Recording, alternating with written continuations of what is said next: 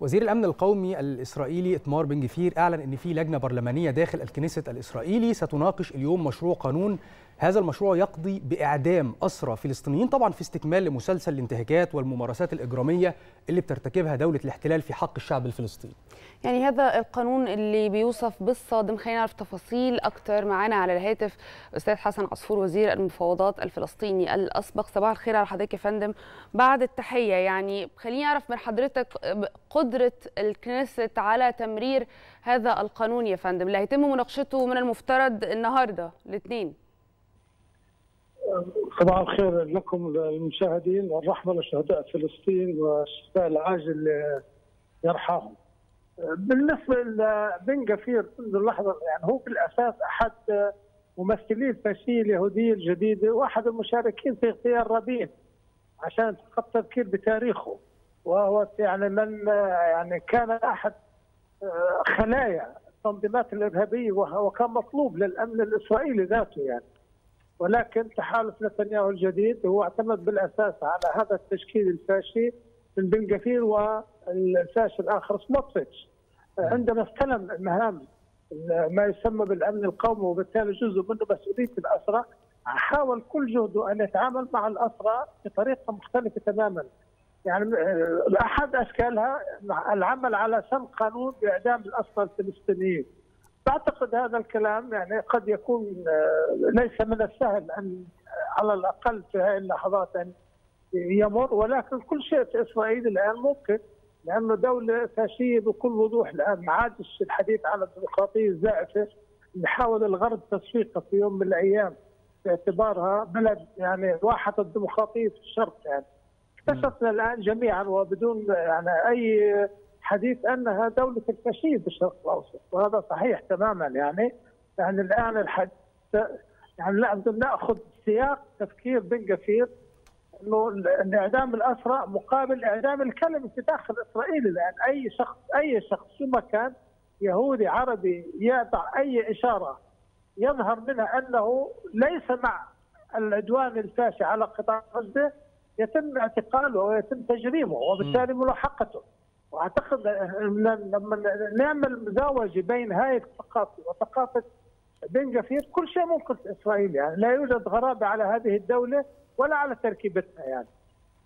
مم. طيب ألا يخشى بن جفير من أن ترد المقاومة بنفس الطريقة؟ لا لا هو تفكيره بالأساس مختلف يعني هو لا يفكر بالطريقة النمطية التقليدية مم. شخص يعيش في عالم مختلف تماما هو يعتقد كليا أنه هذا حق له إنه هاي طريقته. من أيد من استدعى لاغتيال رابين رئيس وزراء إسرائيل وهو في الحكم يعني وليس خارج السلطة. وهو في السلطة كان رابين. لا يستبعد اغتيال أي فلسطيني، القتل عنده هو هو وبن وسموتريش دعوا حرق حوارة.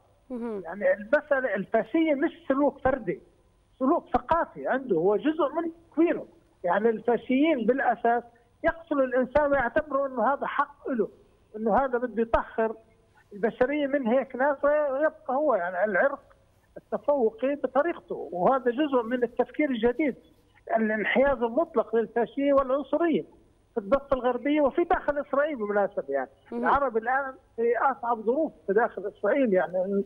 للمتابعة الكلمة الآن ممنوعة أي كلمة يستعملها مع ضد الحرب مش مع فلسطين يتم اعتقاله أو ملاحقته.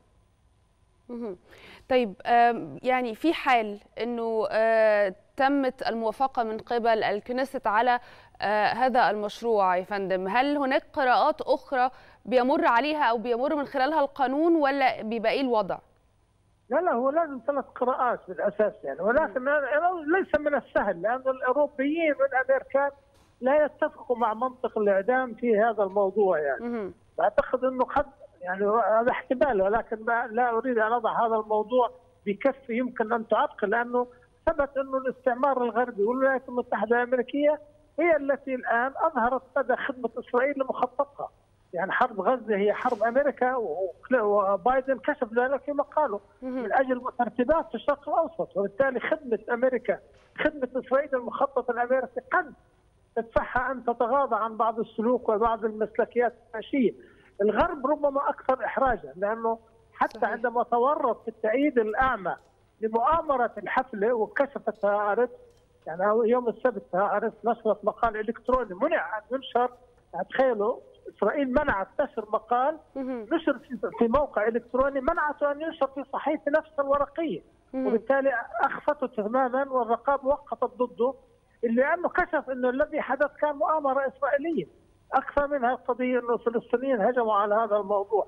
ولذلك الموضوع يعني قد يحدث أشياء كثيرة. لا نريد أن نصادر ولكن هي ليس سهل ليس من السهولة أن يمر مسألة إعدام الاسرى ولكن. كل شيء ممكن مع هذه الدولة الفاشلة.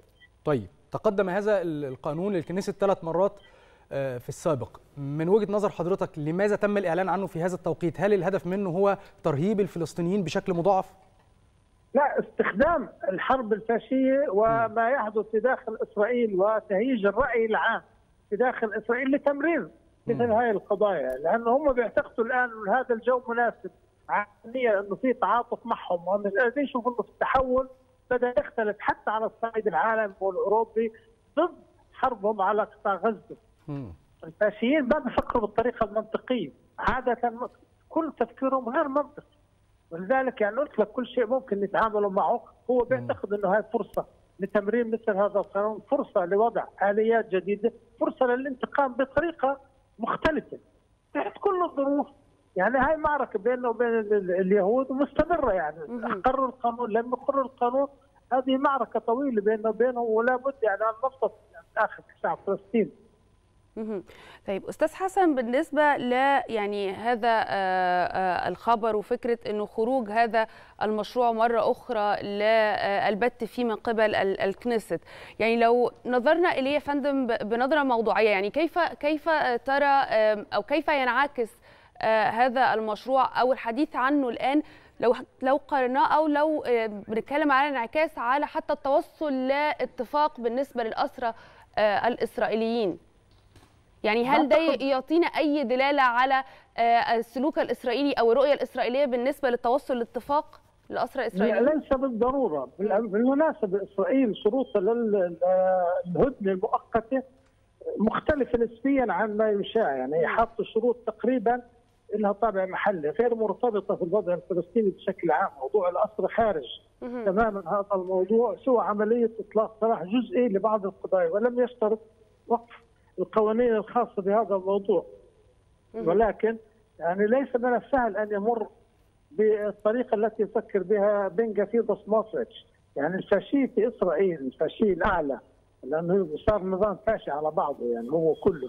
بس هناك فاشية كثير صريحة واضحة وقحة إلى حد مستفز حتى لبعض اليهود. هي تعمل جاهدة على فرض هذا النمط الفاشي. في التطبيق مش فقط في في كل الجوانب في داخل بما فيها ضد اليهود. يعني هناك يهود يعانون من هذه الفاشية أيضا يعني. أي حديث أي أي متعاطف يرسم رسم مع القضية الفلسطينية الآن اعتقال أو منع حديث أو ملاحقه أو مطارده ولكن لابد من أن يحضر إلى الشرطة. وهذا شيء لم يحدث أساسا يعني يمكن سابقا. في تاريخ دولة الكيان، الكلمة الآن أي كلمة عربي فلسطيني يهودي ما كان يكون زائر أجنبي بما فيه الخارج يعني واحد في الخارج يكتب ضده بحط اسمه على القائمة. حرب بتصير عليه يعني وبالتالي يجندوا كل قواهم في الدول الغربية ضد هذا الشخص المعارض.